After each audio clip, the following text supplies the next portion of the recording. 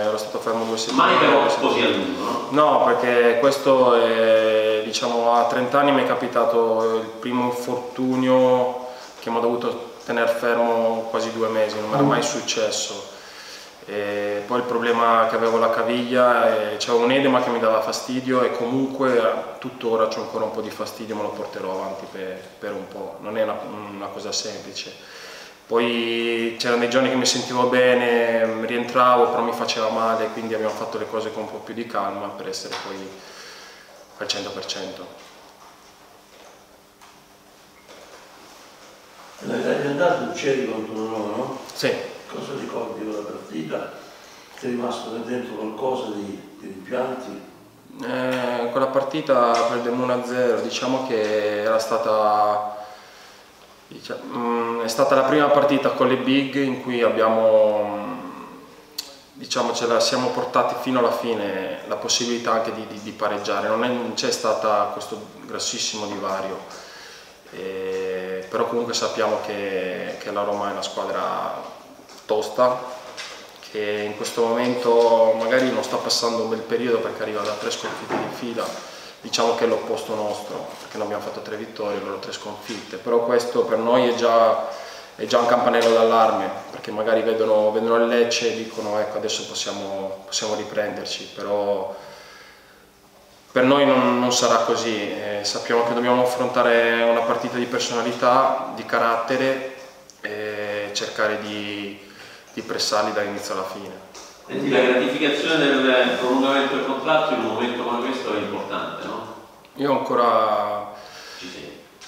sei ci sono quasi, nel senso io le, le dinamiche non, non, ci sto pensando perché non, quando mi chiamerà il mio procuratore mi dirà abbiamo fatto tutto, allora quella firmerò. Io adesso non mi sto preoccupando di, del rinnovo. Però una gratificazione. Sì, quello sicuramente fa sicuramente piacere perché vuol dire che qualcosa di, di buono stai lasciando.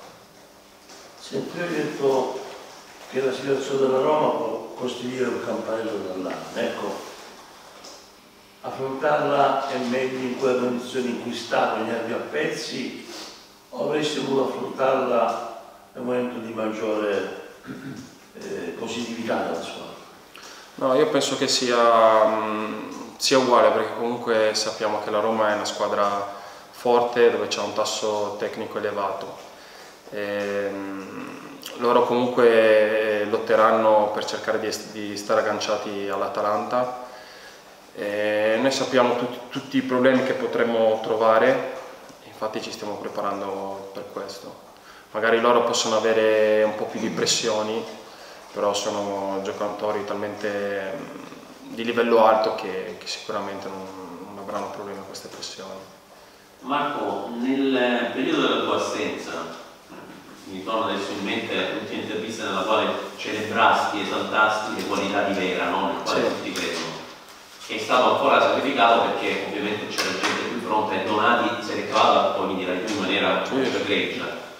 In Vera continuate ovviamente a riporre grande fiducia? Sì, sì, no, indubbiamente. Forse diciamo che penso che sia, un, sia, stato anche un periodo non, non, facile anche a livello di risultati, quindi magari il mister ha fatto, ha fatto le sue scelte, però comunque Vera ha delle qualità straordinarie, perché comunque a 20 anni ha un fisico pazzesco, eh, lavora tanto e secondo me se, se, ne parlerà.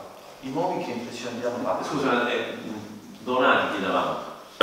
Io Donati lo conoscevo già dai tempi di Grosseto, eh, comunque ha fatto una carriera importante all'estero, io l'ho ritrovato molto cresciuto, migliorato tantissimo, è un giocatore mm, molto affidabile, comunque giocare sulla fascia opposta del tuo ruolo non è semplice, ma lui ha fatto delle grandissime prestazioni.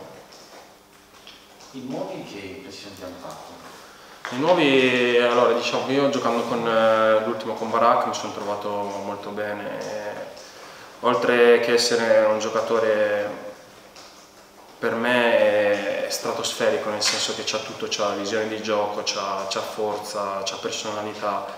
Oltre a quello è anche un ragazzo che si è inserito subito. È una cosa che, che mi piace di lui che quando arriva eh, dà, dà, la mano a tutti. Qualsiasi persona che incontra dà, è il suo modo di salutare. Questo già ti, ti fa capire che persona è. Poi mh, Ricky, eh, anche Ricky ha delle qualità altissime.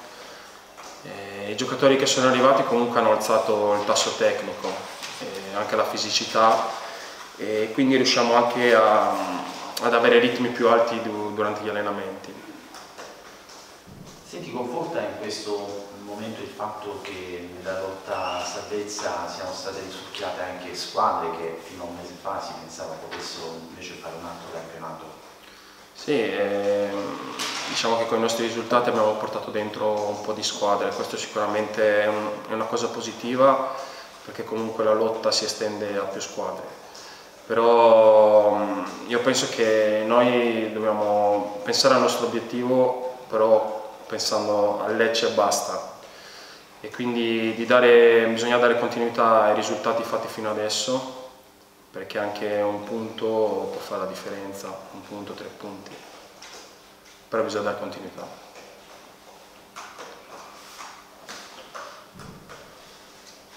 Tornando alla Roma, eh, nell'attacco l'altro giorno Michel ha detto che sei uno degli attaccanti più insidiosi della Serie A.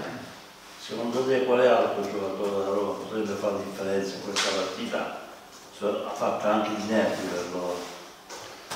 Sì, ma ehm, come ha detto Fabio, sicuramente il loro giocatore più rappresentativo è Zecco, però comunque anche loro hanno degli esterni brevillini, bravi tecnicamente e molto forti io penso che tutta la loro squadra bisogna stare attenti.